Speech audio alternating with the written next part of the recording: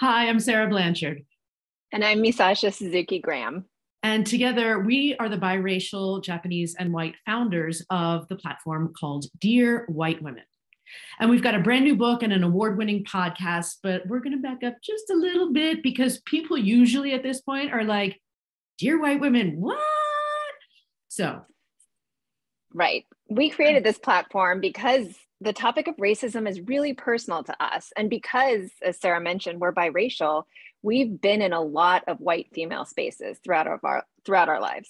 We know what conversations are happening in those spaces, and we also know what conversations are not happening.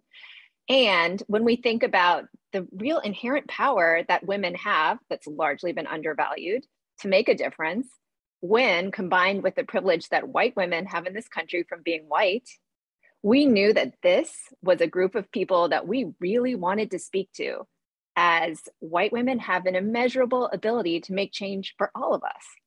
And honestly, we've been so fortunate to have this incredible platform to speak together about our history um, and to interview incredible people who share their stories and their perspectives and, and together just each week to continue to learn. But then during the 2020 shutdown, we realized that kind of not everybody is a podcast listener. Guilty. And we both love reading and writing. And Misasha is a lawyer after all. And she also reads at superhuman speeds, is an expert at revising briefs.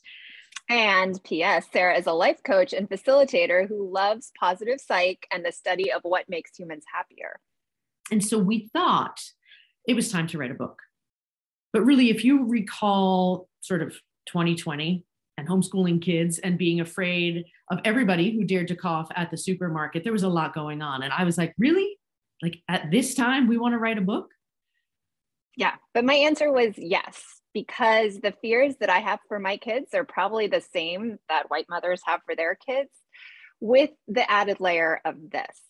Every time my Black, Japanese, and white boys leave our house, I worry that they won't come back simply because of the color of their skin.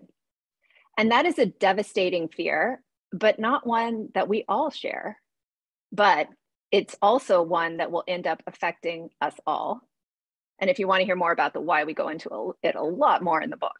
We really do. But I love it, right? There it was. She's like, we've got to do this to help my kids. And it was time to write the book. And so we really focused on making sure the tone was just sort of how we are.